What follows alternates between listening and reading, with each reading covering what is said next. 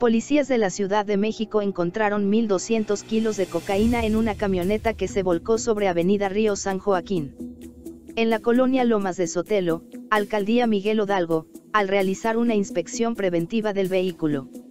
De acuerdo con el reporte de la Secretaría de Seguridad Ciudadana, en la camioneta fueron encontrados 475 envoltorios de 24 centímetros de largo por 14 de ancho, con un peso aproximado de 1.200 kilogramos de cocaína.